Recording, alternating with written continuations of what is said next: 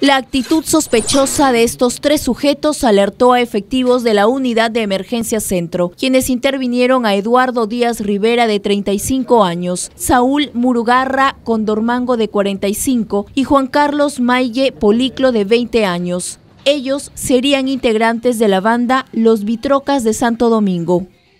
Al notar la presencia policial, estos sujetos emprendieron la fuga. Afortunadamente, los agentes iniciaron la persecución, logrando su detención en inmediaciones de la prolongación Cela en la urbanización Villa de Contadores.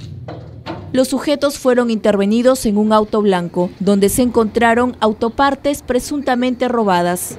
Al departamento de robo de vehículos llegó un ciudadano quien señaló que las autopartes recuperadas pertenecen a su unidad que hace unos días fue robada.